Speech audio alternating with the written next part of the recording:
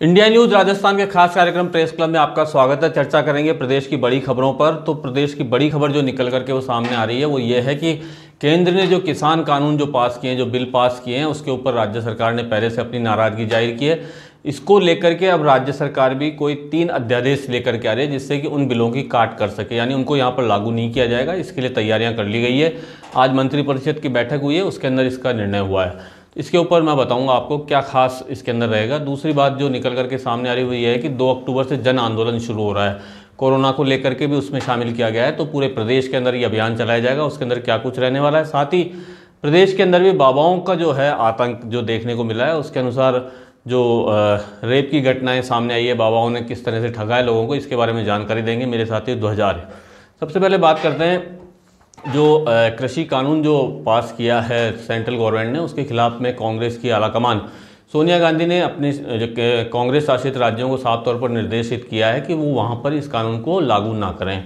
तो जो संगठन महासचिव है, उन्होंने भी सभी राज्यों को निर्देश दिए हैं, कांग्रेस शासित प्रदेशों को, कि इसकी तैयारी की जाए, किस तरीके से इसको रोका जा सकता है। तो इसके लिए संविधान का जो अनुच्छेद है, दो सौ दो इस धारा का उपयोग करते हुए यहाँ अपने यहाँ पर भी कांग्रेस शासित राज्य इस तरह का अध्यादेश लागू कर सकते हैं। पहले अध्यादेश जारी करेंगे, फिर उसको विधानसभा का बिल बुला, विधानसभा बुला करके और वो कानून पास कर सकते हैं। इस तरह की विधिवेत्ताओं से राय ली जा रही है। आज मंत्रिपरिषद की बैठक हुई, मुख्यमंत्री अशोक गहलोत की तमाम मंत्री इसके अंदर मौजूद थे। सभी ने एक स्वर में कांग्रेस आलाकमान ने जिस तरह से निर्देशित किया, उसके ऊपर विचार करने के लिए कहा है। मुख्यमंत्री अशोक गहलोत को कहा है कि इस संबंध में विचार करें। उनके पास में पूरे अधिकार दिए गए, साथ ही उन्होंने इसके लिए शांति धारीवाल, जो कानून मंत्री हैं, इसके अलावा कृषि मंत्री लालचंद कटारिया, शांति धारीवाल के अलावा जो आला अफसर हैं, वो लोग बैठ करके इस पर मंथन भी करेंगे। किस तरीके से इन नए अध्यादेश लाए जा सकते हैं, जिसके माध्यम से इनको रोका जा सके? जो सबसे बड़ी बात निकल कर के आ रही है कि पंजाब की तर्ज पर जो मंडियाँ हैं, उसमें पूरे ज़िले को इस मंडी क्षेत्र को घोषित कर दिया जाए, जिससे कि किसानों के जो हित हैं, वो किसी तरीके से प्रभावित ना हो इन नए कानून के तहत। और इन कानूनों को यहाँ पर लागू नहीं किया जाएगा। ये गहलोत सरकार ने आज साफ़ कर दिया है। मंत्रिपरिषद की बैठक के जो निर्णय निकल करके सामने आ रहे हैं, उसमें सबसे बड़ा मुद्दा आज यही छाया हुआ था कि किस तरीके से किसान कानून बिलों को यहाँ पर लागू करने से रोका जा सकता है, जो केंद्र ने पास किए हैं। राज्य सरकार इसके लिए अध्यादेश लेकर के आएगी। इसके लिए अध्यादेश लाने के बाद में जब उसको बिल बनाया जाएगा तो उससे पहले एक विधानसभा का विशेष सत्र भी बुलाया जा सकता है। इन सब की तैयारियों के लिए मुख्यमंत्री अशोक गहलोत ने आला अधिकारियों और अपने मंत्रियों को भी ज़िम्मेदारी सौंपी है। तो एक खबर तो ये बड़ी निकल करके आ रही है। दूसरी बात यह है कि दो अक्टूबर से राज्य सरकार एक बड़ा जन आंदोलन शुरू करने जा रही है कोरोना के खिलाफ में। जन जागरण अभियान होगा खास तौर से ये जिसके अंदर लोगों को अवेयर किया जाएगा कि किस तरीके से नो आ, मास्क नो एंट्री का जो सिद्धांत है इसको लागू किया जाए सख्ती से लागू किया जाए। इसके लिए पूरे प्रदेश भर में मास्क वितरण का भी कार्यक्रम रहेगा। जो प्रभारी जो मंत्री रहेंगे वो तीन और चार तारीख को जिलों में जाएँगे। ये तमाम जो बातें हैं वो निकल कर के सामने आ रही है कि ये है। दूसरी एक है कि कल पीयूष गोयल जयपुर में रहेंगे जो किसान कानून को लेकर के भारतीय जनता पार्टी लगातार जन जागरण का अभियान शुरू करना चाहती है कि किसानों तक उनकी बात पहुँचे। इसी मुद्दे को लेकर के कल वो यहाँ जयपुर में चर्चा करेंगे। पत्रकारों से भी बातचीत करेंगे क्या कुछ कहते हैं वो कल बताएँगे आपको। और अब जो एक बड़ी खबर जो निकल करके आ रही है बाबाओं की प्रदेश के अंदर दो बड़ी घटनाएँ हुई हैं जिनकी जानकारी मेरे साथी ध्वजारे देंगे।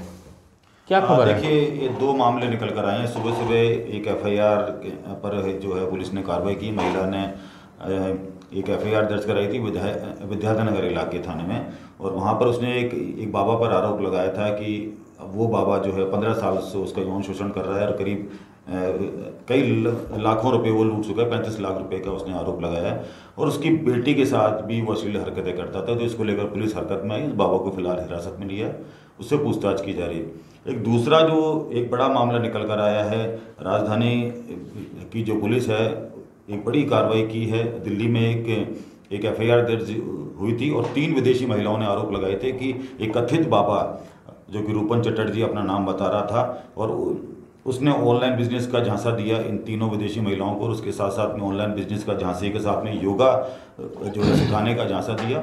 और तीनों विदेशी महिलाओं के साथ में उसने यौन शोषण किया। तो जयपुर में दो एफआईआर दर्ज हुई हैं विधायकपुरी थाना इलाके में और एक एफआईआर दर्ज हुई है सदर इलाके में। तो एडिशनल एसपी जो थे, बजरंग सिंह उन्होंने पूरी तरीके से इस जो बाबा को है काफ़ी जो उन्होंने टीम गठित करके और तुरंत ही इस बाबा को जो है गिरफ़्तार किया मुंबई से और इससे पूछताछ की जा रही है। जब आप ले आए क्या उसको जयपुर हाँ बिल्कुल लेके आए हैं और इससे रिमांड लिया जाएगा और रिमांड के बाद में इससे पूछताछ की जाएगी। चूँकि ये पूरा मामला एम्बेसी से ये जुड़ा हुआ था तो इसको लेकर पुलिस तुरंत ही हरकत में आई और ये पूरी कार्रवाई का अंजाम दिया। पता लगाने का प्रयास किया जा रहा है कि जो तीन विदेशी महिलाएँ थी इनके इनके अलावा भी इसने कितने और भी लोगों को किया गया। कितनी जो महिलाएँ हैं और कितनी युवतियों को अपनी आवाज़ का शिकार बना इसके बारे में पूछताछ की जाएगी। रिमांड के लिए इसे कोर्ट में जो है भेजा गया है और उसके बाद में रिमांड लेगी पुलिस और इससे पूछताछ की जाएगी। ये थी तमाम बड़ी खबरें जिनके ऊपर आज दिन भर में चर्चा में रही है। इंडिया न्यूज़ राजस्थान के इस खास कार्यक्रम में आपको तमाम अपडेट्स मिलते रहेंगे। जो आपको बेल आइकन नज़र आ रहा है, आप उसको टच करेंगे, तमाम अपडेट्स आप तक पहुँचते रहेंगे। आज के लिए धन्यवाद।